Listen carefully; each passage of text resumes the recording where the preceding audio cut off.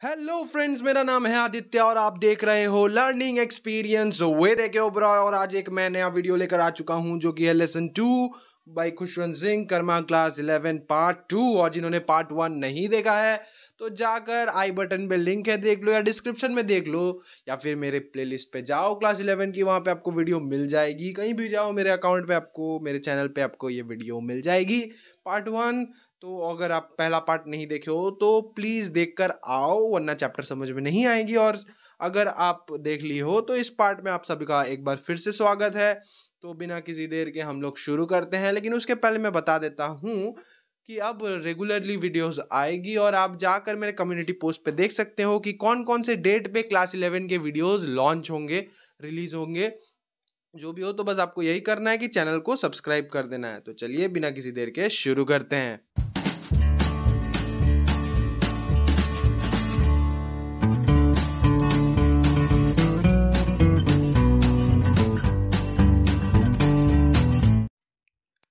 Arrival of the train did not disturb Mohan Lal sang froid जब train आई तो sir Mohan Lal को इसे कोई डिस्टर्बेंस नहीं हुआ।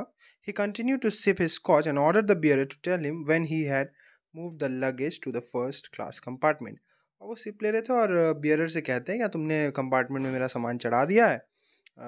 Excitement bustle and hurry were exhibition of bad breeding क्योंकि सर मोहन को लगता था एक्साइटमेंट ज़्यादा एक्साइटेड हो जाना या फिर ज़्यादा जल्दबाजी करना, ये सब ख़राब साइन होता है। मतलब ये डिसिप्लिन के बाहर है। Sir Mohan was eminently well bred वो बहुत ही वेल ब्रेड है। मतलब कि अपने आप को बहुत मेंटेन करते हैं और अपने आप को हाई क्लास दिखाते हैं। अपर क्लास से बिलोंग करते हैं, ऐसा वो दिखाते हैं।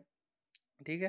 He wanted every thing tickety boo tickety boo and orderly in his five years abroad sir Mohan had acquired the manner and attitudes of the upper class और वो दिखाते हैं सब कुछ की आ, सब कुछ प्रॉपरली हो। और पाँच साल जब उन्होंने अब्रॉड में बिताया था पाँच सालों में सर मोहन लाल ने अपने आप को एक ऐसा एटीट्यूड में दिखाया और, और जताते हैं कि वो अपर क्लास से बिलोंग करते हैं। He rarely spoke Hindustani when he did it was like an Englishman only, the very necessary word, and properly anglicized.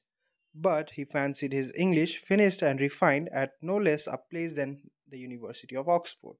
और वो जब भी इंग्लिश बोलते थे वो हिंदुस्तानी ज़्यादा उपयोग करते नहीं थे तो इंग्लिश में ही बात किया करते थे और बहुत ही ज़्यादा नेसेसरी होता था बहुत ही ज़्यादा ज़रूरत पड़ती थी तभी वो हिंदी बोलते थे और मानो कि कोई अंग्रेज़ हिंदी बोल रहा है इस तरह का वो हिंदी बोलते थे और उन्होंने अपनी पढ़ाई ऑक्सफोर्ड यूनिवर्सिटी से की थी एब्रॉड में। So he fond of conservation conversation and like a culture cultured English man he could talk on almost any subject book politics people तो क्योंकि वो बाहर में पढ़े हैं उन वो कन, वो बातचीत करते हैं इंग्लिश में उनका जो कल्चर है वो इंग्लिश कल्चर रहा है इतने सालों से। तो वो सब्जेक्ट्स भी, जैसे पॉलिटिक्स है पीपल है तो ये सब वो सब्जेक्ट्स ऑलमोस्ट इंग्लिश में ही पढ़ते थे और उनको यही पसंद है। तो how frequently had he heard English people से that he spoke like an English man तो इसलिए लोग मतलब जैसे ही उसका इंग्लिश सुनते थे तो लोगों को लगता था कि वो एक इंग्लिश मैन जैसा इंग्लिश बोलते हैं।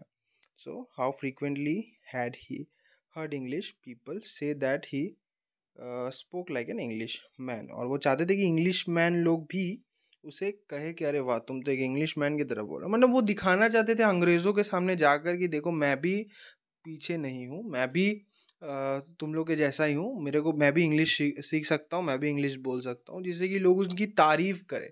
वो तारीफ़ के दीवाने थे कि लोग उनकी तारीफ़ करें। और इंग्लिश मैन लोग मतलब जो अंग्रेज़ लोग हैं, वो तारीफ़ करें उनकी। ठीक है? इसका घमंड था उन्हें कि उनकी इंग्लिश इतनी अच्छी थी। पार्टी आगे देखते हैं, क्या होता है? Sir Mohan wondered if he would be travelling alone it was a cantonment and some English officers might be on the train तो अब सर मोहन को लगता है कि अब हम कैंटोमेंट से गुजरने वाले हैं, एक ट्रेन कैंटोमेंट से जाएगी तो ट्रेन में इंग्लिश मैन चढ़ेंगे, अंग्रेज़ ऑफिसर्स जो है वो चढ़ेंगे। ठीक है? उन, वो इंतज़ार कर रहे हैं कि अब अंग्रेज़ ऑफिसर्स चढ़ेंगे, क्योंकि मैं अकेला ट्रैवल कर रहा हूँ इस ट्रेन में। मेरी वाइफ तो पीछे बैठी है दूसरे कम, कंपार्टमेंट में। So his heart warmed as at the prospect of an impressive conversation. He never showed any sign of eagerness to talk the English as most Indians did, nor was he loud, aggressive, and opinionated like them. He went about his business with an expressionless matter of factness. He would retire to his corner by the window and get out a copy of the Times.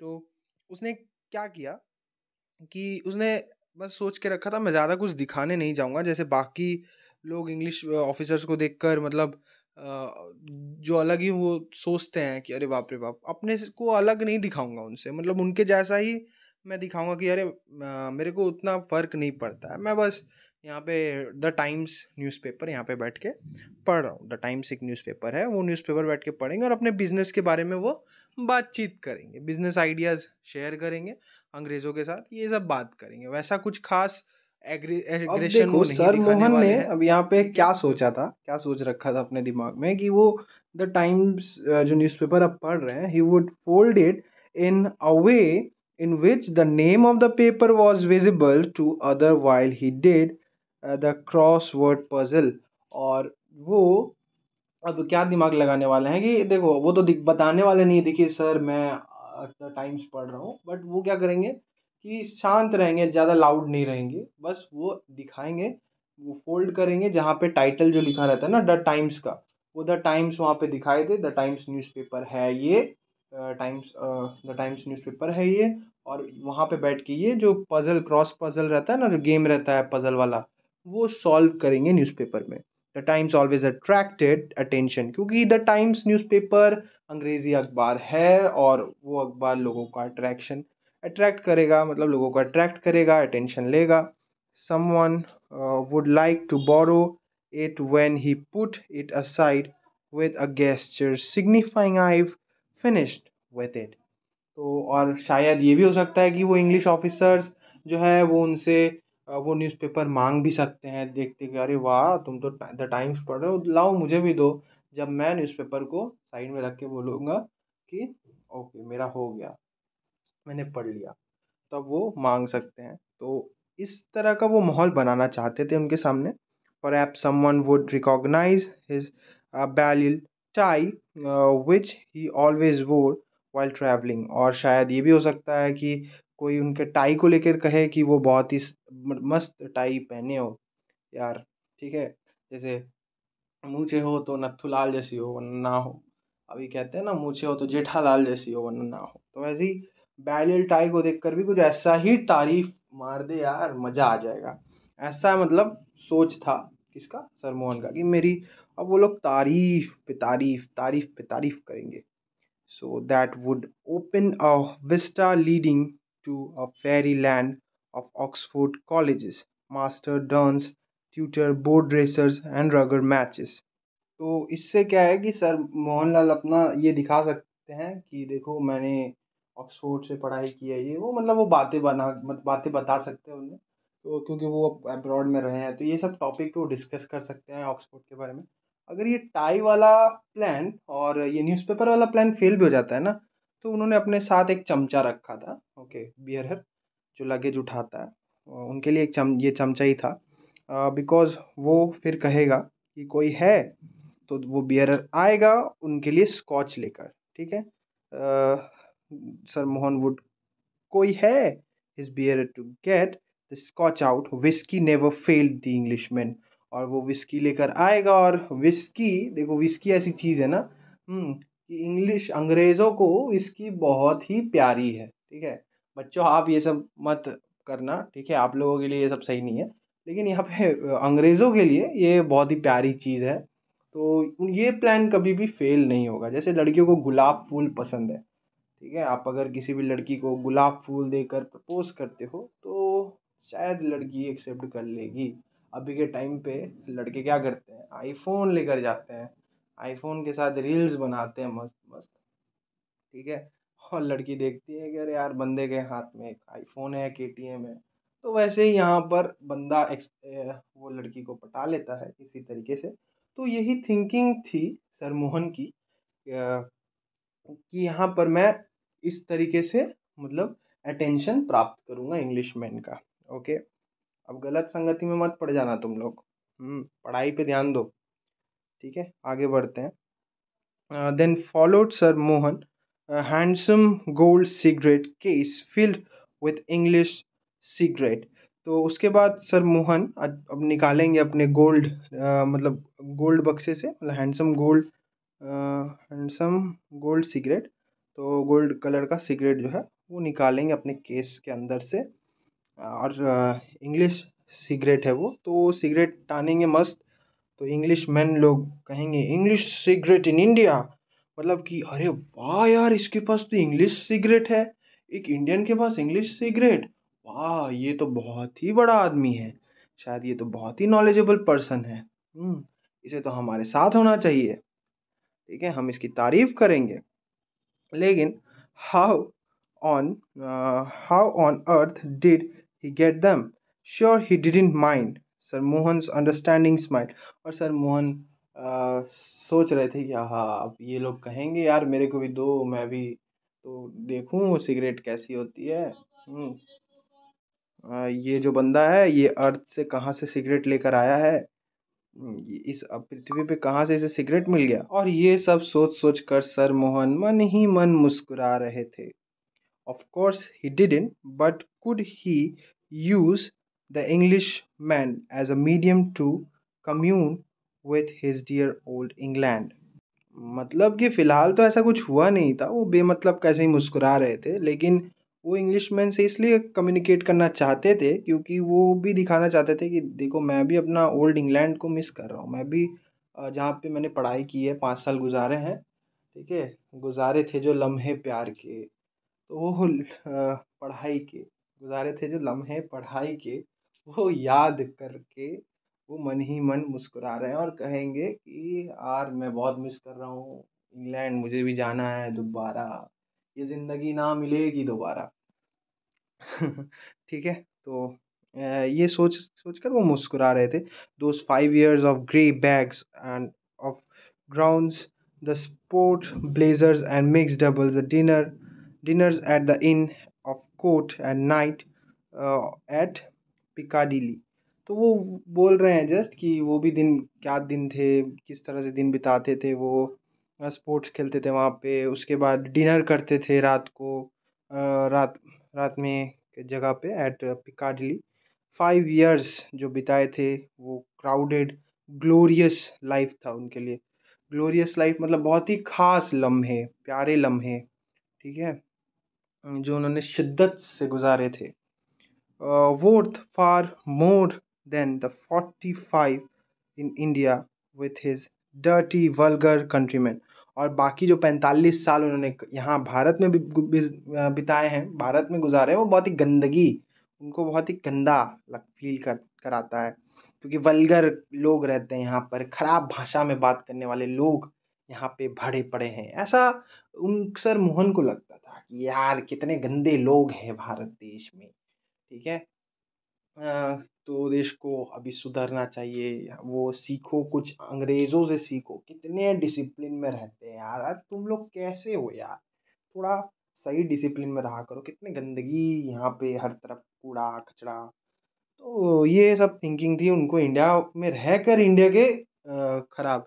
देखिए तरक्की तो अभी भी हो रही है और हम सब जानते हैं कि कचरा फेंकना हर इधर उधर नहीं चाहिए। आप लोगों से भी रिक्वेस्ट है कि आप लोग भी प्लास्टिक का यूज़ जितना हो सके आप लोग कम कर दे, ठीक है? प्लास्टिक यूज़ ना करें और इधर उधर कहीं भी कचरा ना फेंके। एक जगह पे आप कचरा जमा कर दे, ठीक है? और कॉरपोरेशन के लोग आएँगे और उसे लेकर जाएँगे। तो आप सबसे भी ये रिक्वेस्ट है, एक तरीक़े से बात सही कहाँ है सर मोहन ने? क्योंकि आज सर मोहन जैसे लोग कह रहे हैं, कल कोई और भी कह सकता है, ठीक है? तो इसीलिए आप सबसे ये निवेदन है कि इस, ये ना करें, अगर किसी के घर में भी ऐसा होता है तो ये चीज़ ना करें। तो चलो आगे बढ़ते हैं। उसके बाद क्या होता है? With sordid details of the road success of nocturnal visit the upper story and obese old Lakshmi smelling sweet and raw onions. तो इवन क्या ना, उनको अपनी वाइफ का पान चबाना भी नहीं पसंद था। ये लक्ष्मी जो पान चबाती थी, इसलिए वो लोग दोनों अलग अलग रहते थे अपर स्टोरे में रहते जाते थे लक्ष्मी से जब वो मिलने के लिए तो उनको पान की मतलब स्मेल आती थी पसीने की बदबू आती थी तो इसलिए वो लक्ष्मी के साथ भी नहीं रहते थे Sir Mohan's thoughts were disturbed by the bearer announcing the installation of the Sahib's luggage in the first class coupe next to the engine. Sir Mohan walked to his coupe with a studied gait. He was dismayed. मतलब क्या हुआ कि sir Mohan का thoughts जो है, वो सोच में डिस्टरबेंस आ गई, क्योंकि जब बियरर कह रहा था कि साहिब का लगेज मैं कहाँ रखूँ? फ़र्स्ट क्लास कूप में, जो कि इंजन के बगल में है, ठीक है? फ़र्स्ट क्लास में उसे लगेज रखना था। तो कंफ्यूज हो गए यहाँ पर सर मोहन क्योंकि वहाँ पर और कोई भी नहीं था। जैसे वो वहाँ पे पहुँचते हैं, अंदर देखते हैं कि अंदर में कोई भी नहीं था।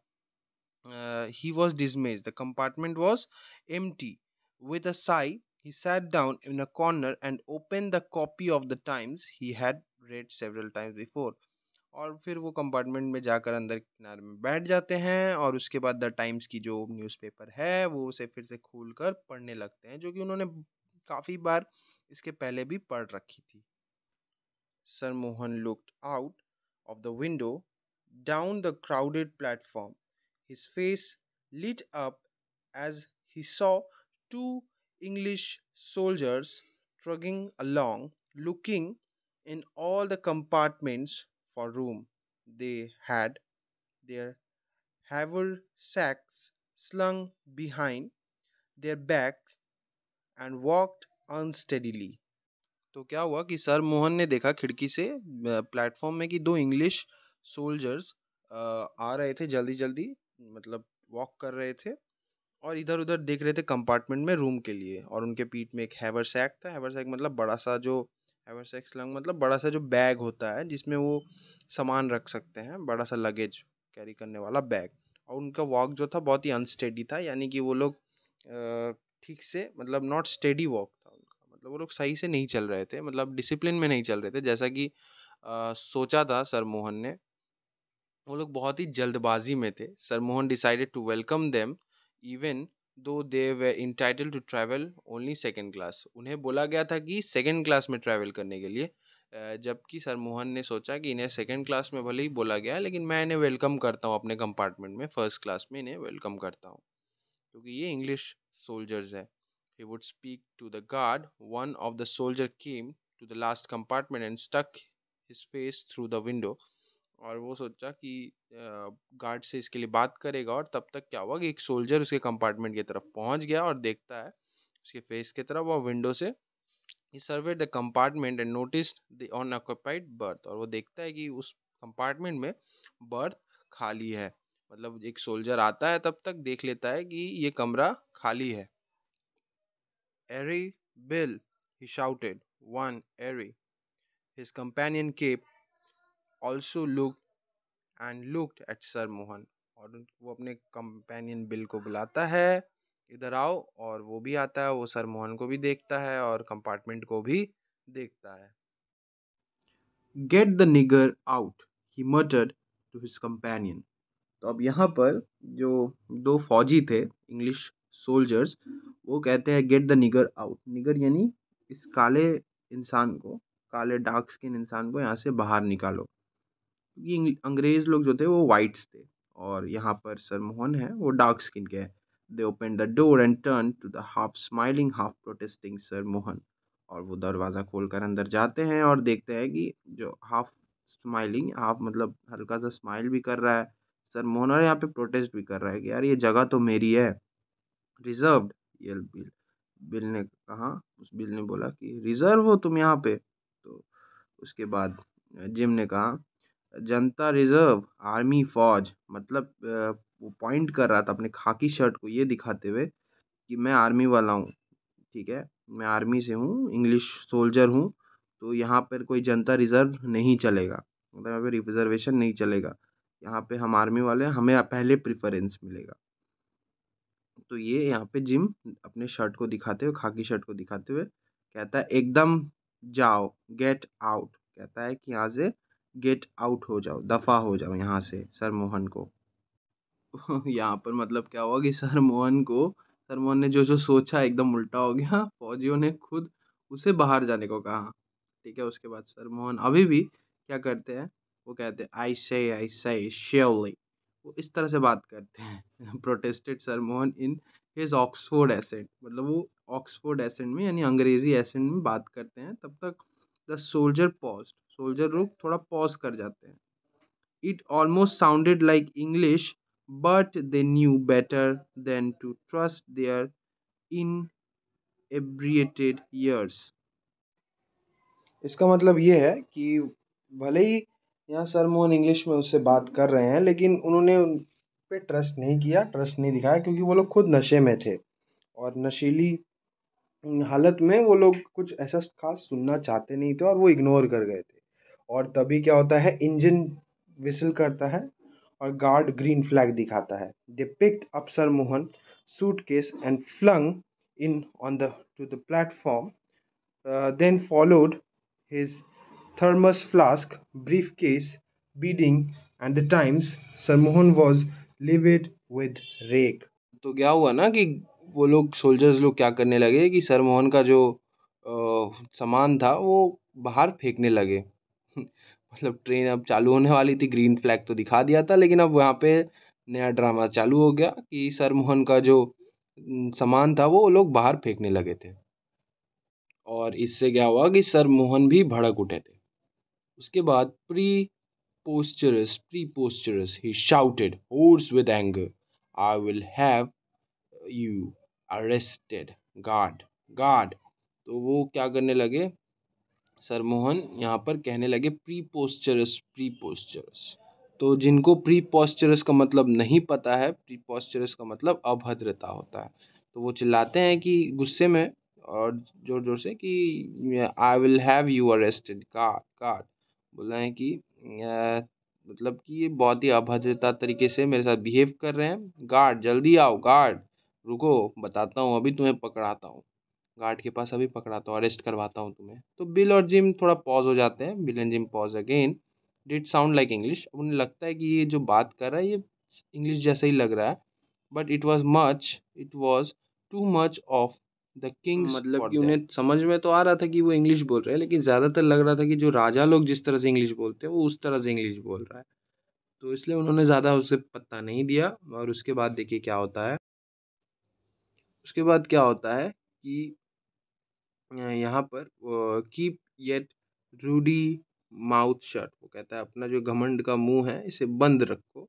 और उसके बाद वो कहता है, Jim struck sir Mohan flat on the face. और जिम क्या करता है, सरमोहन के फेस पे मारता है थप्पड़।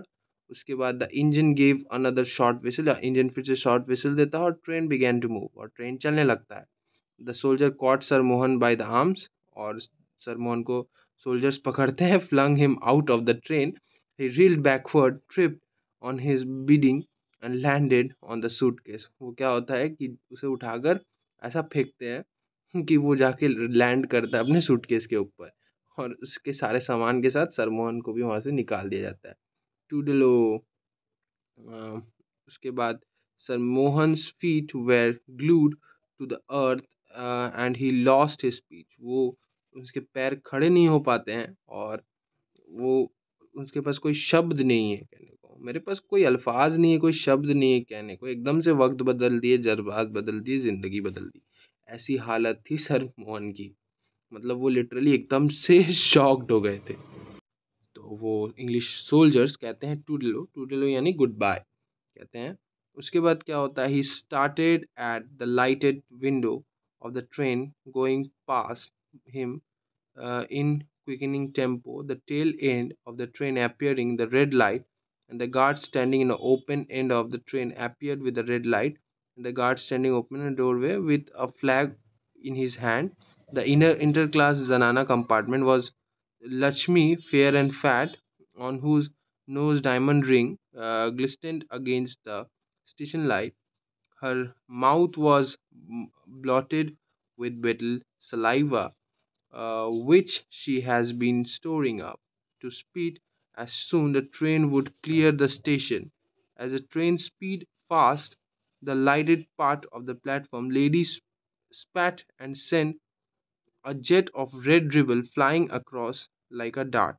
इसका मतलब ये है कि अब ट्रेन जा रहा है ट्रेन जा रहा है और सर मोहन खड़े होकर देखते हैं कि ट्रेन निकल रहा है और जो जनाना कंपार्टमेंट है यानी फीमेल कंपार्टमेंट है लेडीज़ कंपार्टमेंट में उसकी वाइफ बैठी रहती है, पान चबाती है, बिटल लिप्स जो चबा रही थी, वो चबाते जब प्लेटफॉर्म से ट्रेन निकलेगा, वो तब उसे थूकेगी और जैसे ही ट्रेन प्लेटफॉर्म से निकलती है, वैसे ही लक्ष्मी ऐसा थूकती है, मानो कि उसके मुँह से कोई मिसाइल निकल रहा हो, रेड कलर का। और यहीं पे सरमोहन बस ये नज़ारा देखते रहते हैं और उसके बाद उनके मन में ये गाना बज रहा था, ठुकरा के मेरा प्यार ला ला ला बस। तो यहाँ पर सर मोहन का दिल टूट गया और कहानी यहाँ पर ख़त्म हो गई। तो गाइज़ अगर वीडियो अच्छी लगी हो तो वीडियो को लाइक कर देना और दोस्तों में ज़्यादा से ज़्यादा शेयर कर देना और इस चैनल पे पहली बार आए हो तो चैनल को सब्सक्राइब ज़रूर कीजिएगा। तो मिलते हैं नेक्स्ट वीडियो पे और जाकर एक बार मेरी कम्युनिटी पोस्ट पे देख लेना कि कब कब मेरी नेक्स्ट वीडियोस आने वाली है। मैंने एकदम से बता दिया है, वहाँ पे अनाउंसमेंट कर दिया है।